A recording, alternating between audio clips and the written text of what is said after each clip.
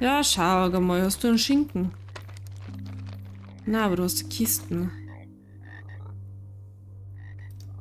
Ach, Schwierigkeit 3, das wäre ja einfacher.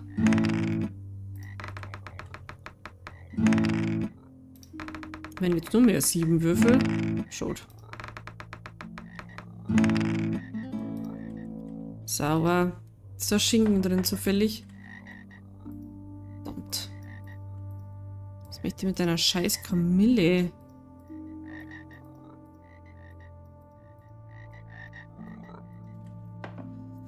So. Resi, servus. Resi, ich bin im Trakt. Stimmt. Sie hat dich erwartet von alles. Hallo, mein Name ist Schmidt und Sie sind? Ich wüsste nicht, was Sie das angeht. Ich wohne hier draußen, weil hier keine Leute vorbeikommen. Weil ich meine Ruhe will. Das gilt auch für Sie.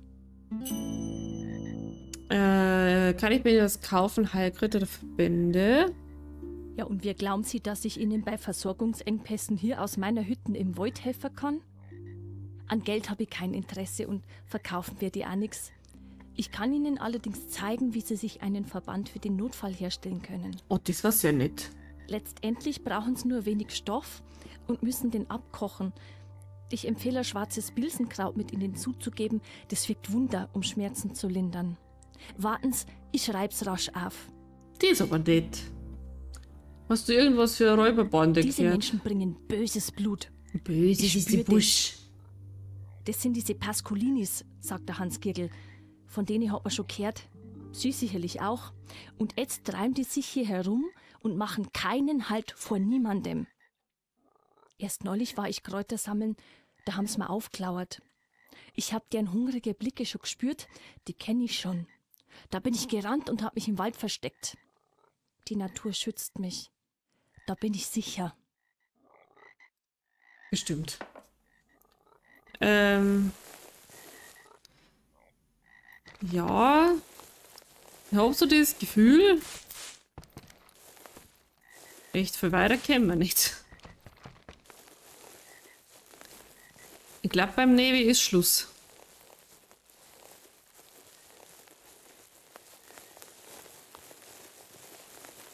Beim Navy ist nicht Schluss.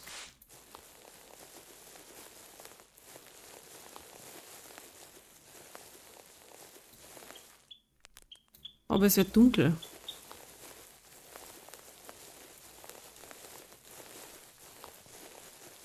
Oh na, so geht's nicht. Das, so, ich hab mich doch bloß umdreht.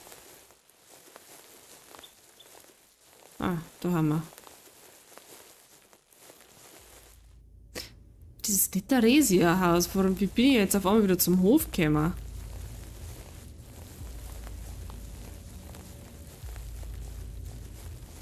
Na, wie jetzt das gekriegt? Und warum habe ich jetzt die Musik da? Ich nicht. Huch, ach, Alter. Bist du bescheuert?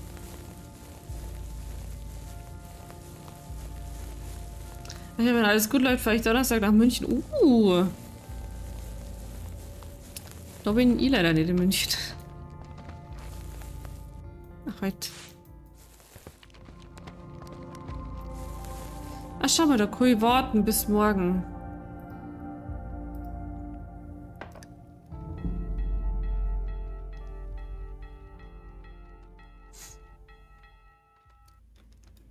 Sauber. Okay.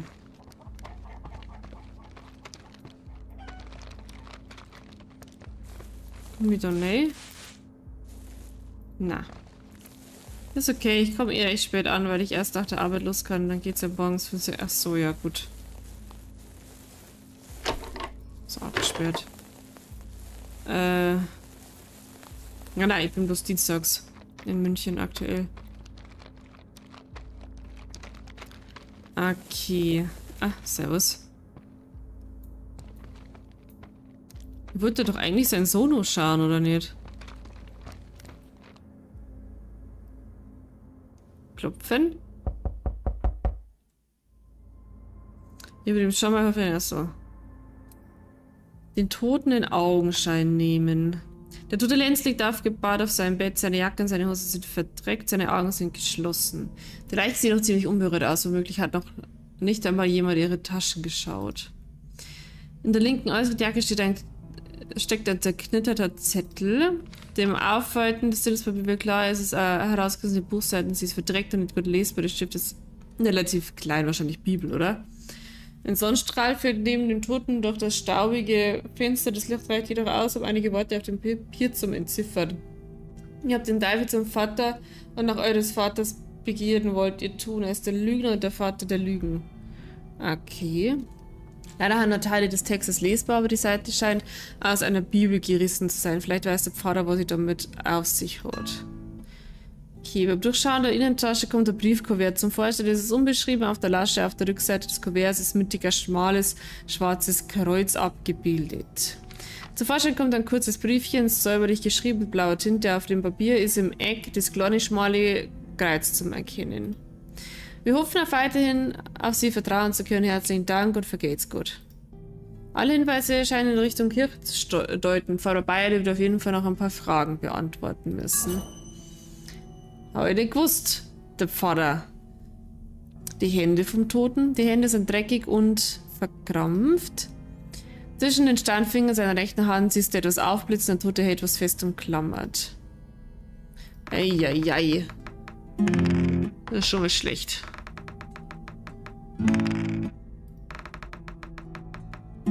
Das ist schon mal schlecht.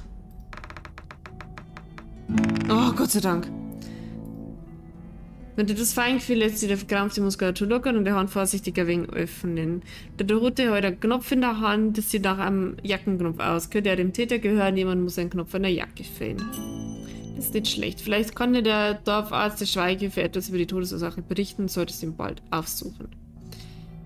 In der niedrigen Stube steht die Luft. Durch die kleinen Fenster kommt ein wenig Licht ins Innere. In der Mitte des Raumes aufgebaut liegt die Leiche von Litz Glas. Die Felder und Straßen waren nass. Gibt es Anzeichen dafür, dass der Tote auf der nassen Erde lag? Die Kleidung untersuchen.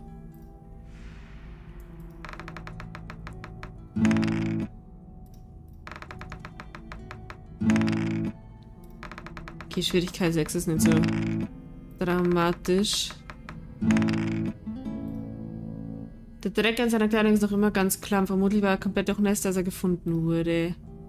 Dritten Vorsicht auf den Bauch drehen.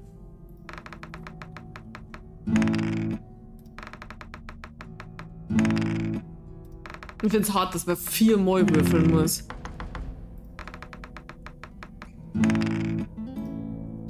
An seinem Hinterkopf ist eine kleine Schwellung und etwas getrocknetes Blut. Der Rücken des Todes ist auf jeden Fall trockener als seine Vorderseite.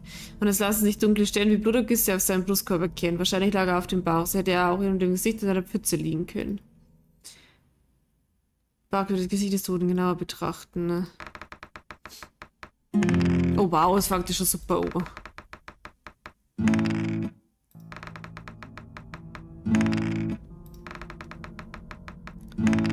Yes. Es sieht so aus, als hätte jemand versucht, den Toten das Gesicht sauber zu machen. An seinem Kinn und an seinem Hals, wenn sie noch eingetrocknete Schlamm wird, wo die Gesicht im Dreck gelegen haben. Indizien zusammen betrachten. Es gibt Anzeichen dafür, dass der Tote einige Zeit auf dem Bauch gelegen hat, vermutlich sogar mit dem Gesicht im Dreck. Vielleicht sogar in einer Pfütze, könnte er womöglich in einer Pfütze ertrunken sein. In der dritten Sturm steht die Ach so. Weggehen. Zum Schluss hat wirklich Momo einfach von Anfang an recht gehabt. Bauchgefühl und Scharfsinn machen wir mal weiter. Das hat uns bisher am weitesten gebracht. Da flackt was. Da, das ist eine Wurzel. Okay. Wir haben vorher da links gegangen, da haben wir zu der Frau gekommen. Wilpertshofen, da können wir auch noch lang gehen. Schauen wir mal, wo wir da hinkommen.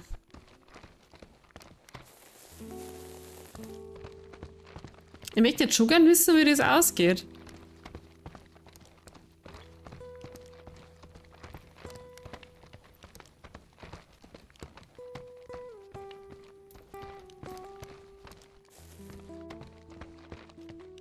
Scheiße, wo können wir denn da noch hier.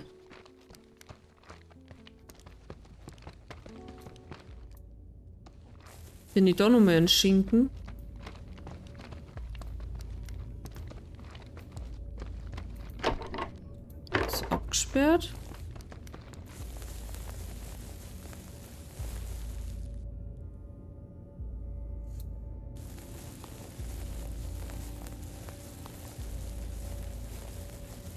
Das? Warum ist das da?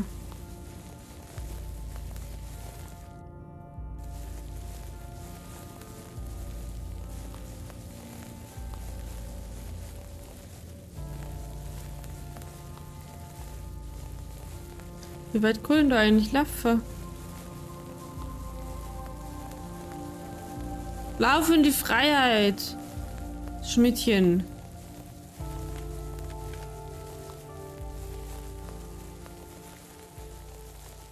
Mach bei dem Bums nicht mehr mit. Okay. Ich fahre jetzt mich verlaufe oder Ewigkeit wieder durch die Gegend.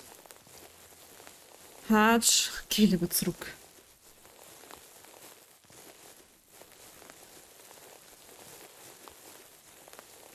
Wenn ich wieder zurückfinde, ja, da ist die Hütten. Oder na, das war ein Baum. Wobei ich habe die Musik wieder, so ein weit kann ich nicht weg sein von der Hütte, da ist.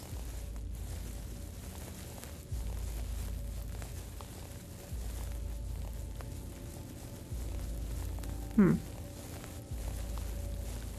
Das scheint einfach bloß eine Hütten zu sein. Kann ich da im Finster was mal? Na, huch.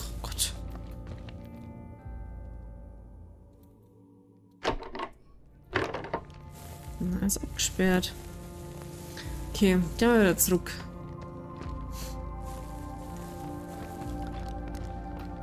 Ist wahrscheinlich einfach bloß irgendeine Lagerhütten.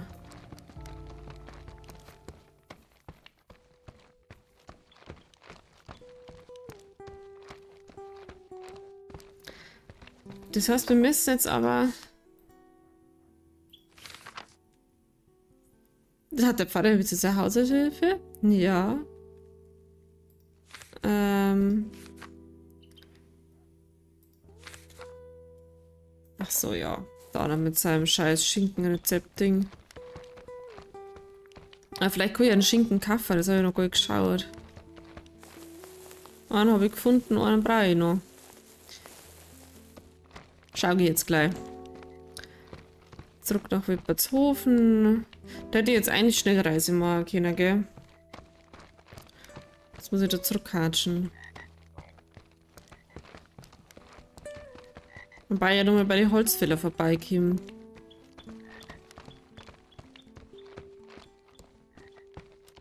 Oder zum Schluss haben sie einfach diese Banditen haben einfach den Typ umgebracht.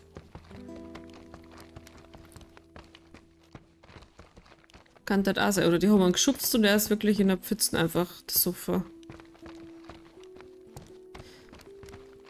Muss mir da immer nur umschauen wegen den Dinger da.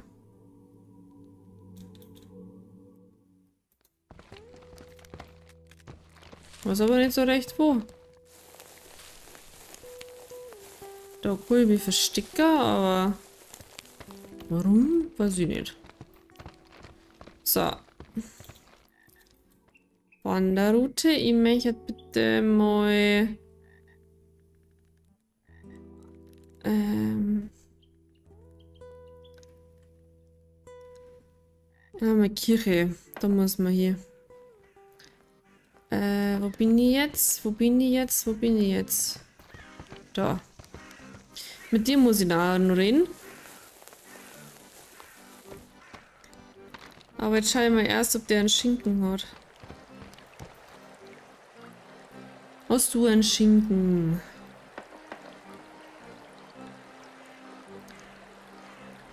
Na. Sie fix, wo kriege jetzt da einen Schinken her? Okay, ich glaube, wir müssen auch mal kurz Pause machen, weil ich muss pullern. Wir machen mal kurz Pause. Ich habe jetzt so viel Hunger, ich hab, muss echt pullern. Okay, weiter geht's. So, Fräulein Renate. Grüß Gott, Renate. Information ja, bitte, nutzen. Herr Valentin? Können wir vertraulich sprechen? Es geht um Sie und Herrn Bayerle. Aber selbstverständlich, Herr Valentin. Ich habe interessante Informationen erhalten. Sie scheint dem Herrn Pfarrer neben dem Tisch auch Bett zu teilen. So, so. Sie haben also Informationen. So, so. Ich finde es ja gut, dass Sie am Ort und den Menschen interessiert sind. Aber da sind Sie am Gerücht aufgesessen. Also entschuldigen Sie bitte, Sie kennen ihn schließlich nicht. Aber, mei, die Leute ratschen halt gern. Wissen Sie, normalerweise passiert hier nicht so viel und dann spinnt man sich halt was zusammen. Aber an der Geschichte ist wirklich nichts dran. Manche Leute sind einfach ein bisschen engstirnig. Die können sich ihm nicht vorstellen, dass der Herr Beile und ich ein freundschaftliches und respektvolles Verhältnis zueinander haben, aber sonst auch nix. Ich ärgere mich da auch gar nicht. Was bringt's denn? Manchmal wird der Herr Pfarrer da schon ein bisschen wütend, aber ich hab nur anderes zum Tor. Eigentlich müsste die ja langsam wieder weiter, Herr Valentin. Natürlich, danke für die Auskunft. Ja, bitte, Herr Valentin? Also war jetzt nicht so hilfreich. Okay, wir müssen jetzt aber mit dem Schorsch reden. Pfarrer. Oh ja. Ich muss mit dem Schorsch reden. Ja, mit dem haben wir jetzt noch gar nicht geredet. Servus. So. Servus. Hast du einen Schinken? Ach, du verkaufst gerade nicht. Du bist die Richtige. Hast du einen Schinken für mich? Die Oh, Scheiße. Ja, Mei, schlimm war das. So eine junge Frau. Und dann hängt die da im Schupfer vom Balker. Dem alten Schormeier hat das schon scharfer gemacht, meine ich. Ich glaub, der hat die schon mengen. Die war ja schon länger bei ihm auf dem Hof. Die ist vor ein paar Jahren da angekommen mit ihrer kleinen Schwester, der Resi. Die ist eigentlich auch eine ganz Liebe. Aber ich glaub, die Mädels haben ganz schön was mitgemacht, bevor die auf den Hof gekommen sind.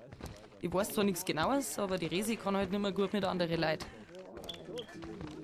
Das ist die Resi. Lass die Leute reden und hör ihnen nicht zu. Ja, sei alte Giers kann er selber noch hier. Jetzt kaum, kann niemand ihm die alte Giers kann er separieren. Wie fix. Oh, scheiße. Ja, was weiß ich. Der Schormeier hat Scheiße. die Gärtler in so eine kleine alte Holzhütte da hinten im Wald reinlassen. Da wohnt die Resi jetzt schon eine Zeitl. Die kennt sich ganz gut aus mit Pflanzen und Kräutern und macht so kleine Teesackerl und Tinkturen und Glücksbringer und alles Mögliche. Und das verkauft's dann, um sie ein bisschen was zum Verdienen. Ja, viel ist das freilich nicht, aber die braucht ja auch nicht viel. Und um den Rest hat sie immer Zensi gekümmert. Ich weiß gar nicht, wer die Resi jetzt zurechtkommt. Man hört und sieht ja nichts von ihr. Oh, scheiße.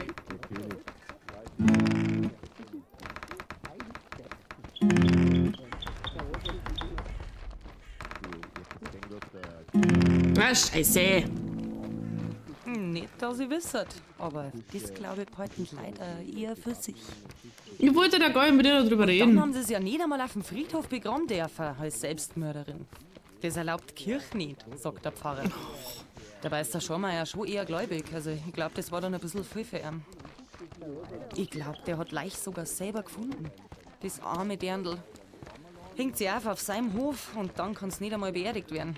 Es ist schon tragisch alles. Was darf ich Erna Gurz da, Herr Stauderer? Eigentlich mehr die was kaufen. Oder zumindest schauen. Diese scheiß Giers kann ja noch hier. Ja, ist noch kein Schinken nicht. So fix. Okay. Wo ist denn eigentlich der Schorsch? Der Bäder? Hä? Warum ist jetzt der Schorsch nicht da? Fix. Du bist der Schorsch. Hi, Schorsch. Sag mal, was war denn am Sonntag da los? Da jetzt, äh, das Übliche halt. Ein bisschen was getrunken haben, geratscht haben, das Übliche halt. Vielleicht hat es auch ein bisschen einen Streik gegeben. Das passiert schon mal. Man wird ja nur seine Meinung sagen dürfen. Was willst denn du überhaupt? Machst du mir jetzt auf die Nerven gehen mit deiner blöden Fragerei? Das brauche ich jetzt wirklich nicht. Das will man ja, wo man nur sagen darf. wa? Geprügelt. Ja, so war es gewesen nicht. Wir haben halt was zum Klären gehabt. Das passiert schon mal, das, das gehört dazu. Pack schlägt sich, Pack verdreckt sich, das sagt man doch auch so. Ich möchte jetzt gerne ein paar Fragen dazu stellen, wenn ich darf. Mein Lieber, jetzt gehst du mal auf den Senkel mit der blöden Fragerei. Bist du von der Presse oder was bist du überhaupt für einer? Ja, wurscht, jetzt lass mich einfach mal Ruhe. Okay, so kommen wir nicht weiter. Schau mal, Schaf, kennst du den Knopf? Den Namen oder was? Ja, was willst du mit dem blöden Knopf? Soll der den jetzt ohne an oder was? Schau geh aus ein Weiberleid. Habe ich schon mal erwähnt, dass ich die, den bayerischen Dialekt echt gern mag? Wo ist dass du den Knopf verloren hast?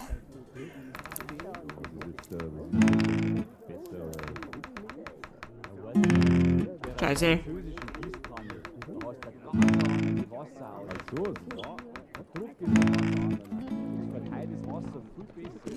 Ja, ist ja gut. Aber meinen Janker habe ich ja nicht dabei.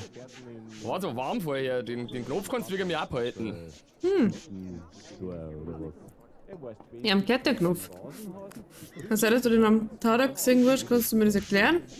Na, da werde ich schon was zum Tor gehabt haben. Das ist ja nicht verboten. Oder ist so ein Handelaufer jetzt auch schon verboten, hä? Ist das etwa?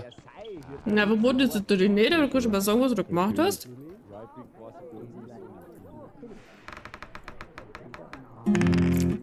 Himmel, Arsch und Zwirn. Himmel, Arsch und Zwirn.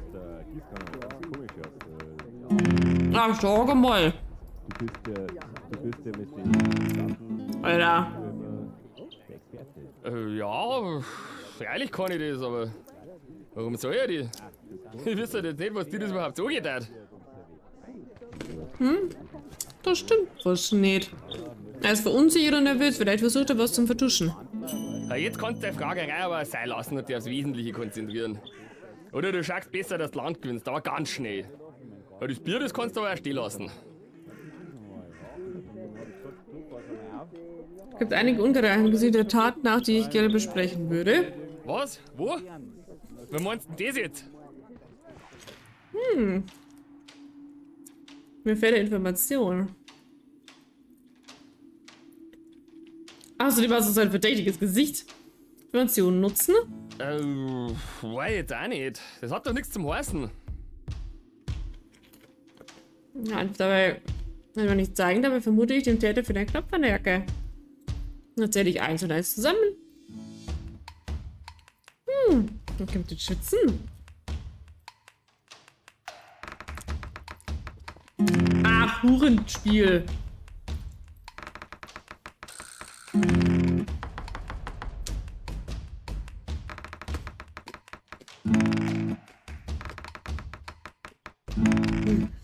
Gott sei Dank. Ich, äh, ich glaub.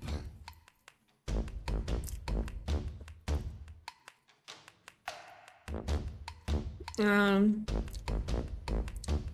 Scheiße. Physis.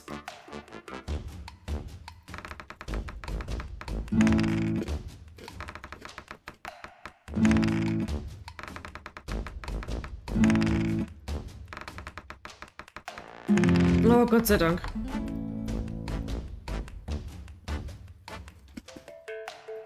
Du kannst mir überhaupt nix. Das daran, du lässt mir jetzt mal rühren, schleißt die Druck in den Start.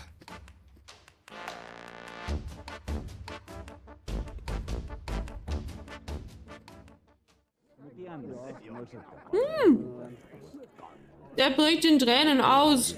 Als erstes ich hätte mich geschlägert und das war ich gar nicht mehr. Und dass ich dann am Tatort gewesen sein soll, das, der Lenz liegt da, der Schlamm. Das ist alles so furchtbar. Ich weiß nur mehr, dass ich dahergekommen bin. War ja Sonntag, da, da treffen sie alle in der Wirtschaft. Was nachher war, ich weiß einfach nicht mehr. Ich versuche mich zu erinnern, aber da, da ist einfach nichts. Ja, da steht so viel Janker Gesuffer. finde ich auch nicht mehr. Ich weiß nicht, wo der ist. Bei der Karte ist er nicht liegen. Ich weiß einfach nichts mehr. Gar nichts. Bitte, Valentin, sag mir, was du weißt. Was habe ich gemacht? habe ich wirklich einen Lenz erschlagen? Bringt ich weiß auch nicht mit Sicherheit, bis aber nur Hinweise. Was wirklich passiert ist, muss ich erst herausfinden. Alle Hinweise deuten in deine Richtung, Schorsch. Ich glaube nicht, dass du deinen Kopf. Nein, der war's nicht. Valentin, du bist doch so ein Scheider. Kannst mir du bitte helfen, rauszufinden, was ich in der Nacht gemacht habe? Ich muss wissen, was da passiert ist. Okay, gut. Zunächst müssen wir herausfinden, was du da gemacht Mein hast. super, Valentin, das machen wir. Und wir müssen da Jacken finden. Ja, freilich. Den Janker müssen wir auch finden. Und, äh, wie machen wir das? Schorsch. Wir müssen den Abend Schritt für Schritt rekonstruieren. Och, leck mich doch, Spiel.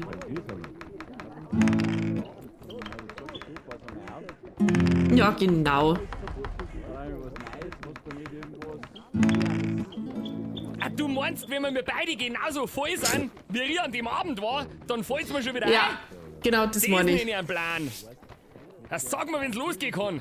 Für sowas bin ich allweil zum haben. Depp. Okay, wenn er so grimmig schaut, schau dich an. Da finden wir mal raus, was du am getan hast, hoch die Gläser. Valentin, das ist alles für einen guten Zweck. Sauf einer in den bläden Schädel. Und dann hat er zu ihm gesagt, was schaust du nicht so blöd? Verstehst? Schaust so blöd, weil er ihm doch das eine Auge mit der Mistgabe. Verstehst? Hm, Genauso klug wie ein Konterbier, oh ja. Saufen für einen guten Zweck. Saufen für die Wahrheit. Prosit auf unseren König Ludwig II. Lang lebe der Kini. Prost, Valentin. War der, der Ludwig der Zweite nicht der Letzte? Im Krieg gegen die Sabreißen der Kugel abgekriegt. Bloß ein Streifschuss, halb so gut. Mit einer die verfluchten Zundennadel gewährt. Hoppala. Dreimal zurückgeschossen, wo wir Danke. nur am Nachlang gewesen haben. Verreckt die Sabreißen, das sagst du.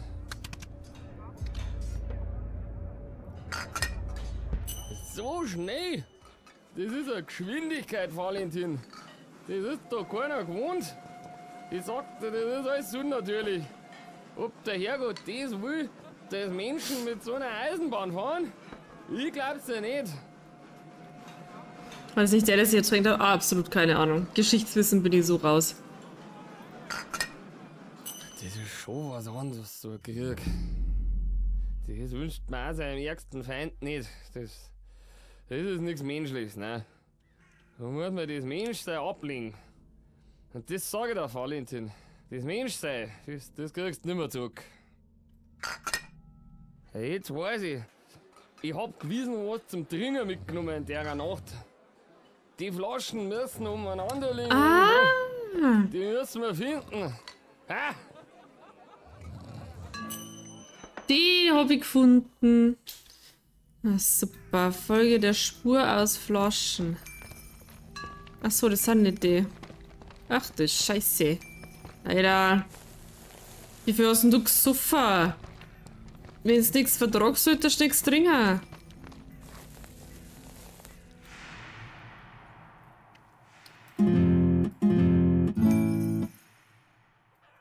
Spuren auf dem Boden. Schorsch führt hierher. Scharfsinn. Och, leck mich.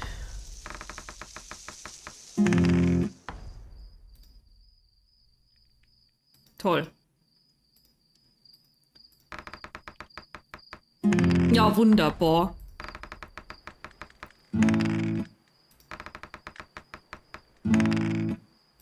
Was ist denn das für ein Scheiß?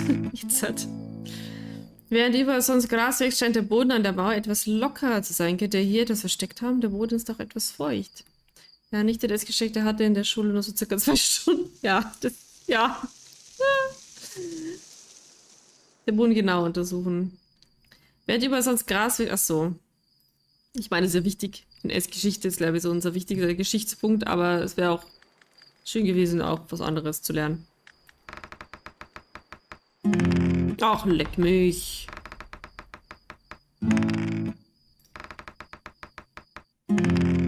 Oh, leck mich doch am Arsch. Noch vor dem ersten Versuch zu graben macht sich ein beißender Geruch stinkt nach Urin. Ja, natürlich. Sichtgeschützt in der Nähe vom Bürzauf. Das hier ist ein Pinkelplatz. Äh. Aber wir beißen uns durch. Wir hauen da trotzdem unsere Finger eh nicht.